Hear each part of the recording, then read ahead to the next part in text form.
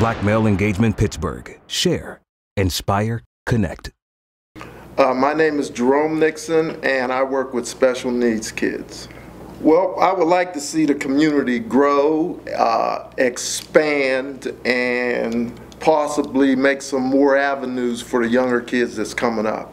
What I do to make the community stronger, um, I try to lead by example.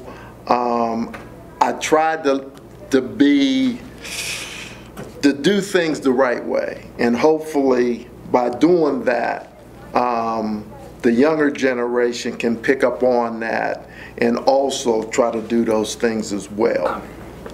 What challenges or problems stood in my way? Um, there's been a lot of challenges and problems that have stood in my way. Um, what I've done to overcome those things is to try to be persistent and when I'm knocked down to get back up and continue to try to improve and fight for what I want to do.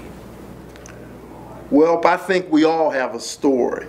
And in order for our stories to be presented, we have to let somebody know what we are going through.